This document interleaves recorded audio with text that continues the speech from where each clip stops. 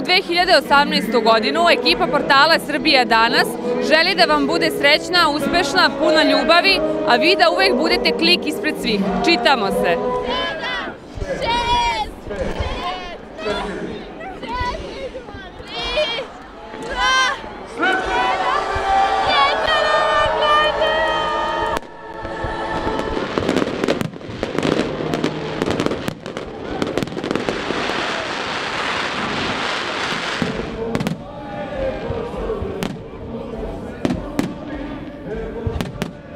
Šta